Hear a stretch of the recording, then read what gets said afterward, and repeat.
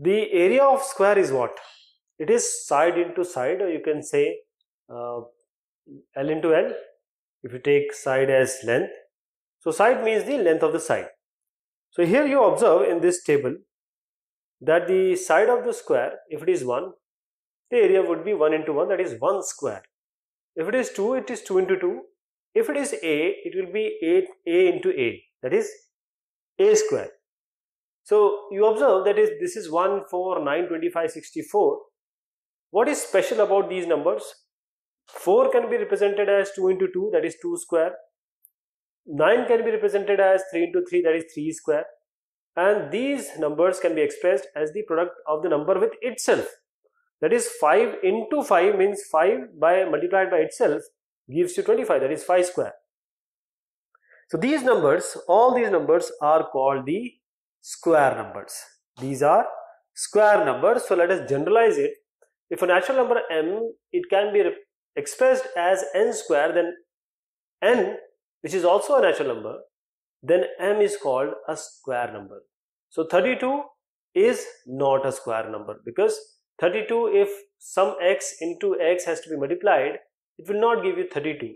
But 36 is of course this is a square number because 6 into 6 gives you 36 right? So 5 into 5 is 25 6 into 6 is 36 there is no number between 25 and 36 or there is no natural number between 5 and 6 so there is no square number between 25 and 36 that is why 32 belongs in between. It is not a square number. Then we can complete uh, this table. See 9 9 into 9 is what? It is 81.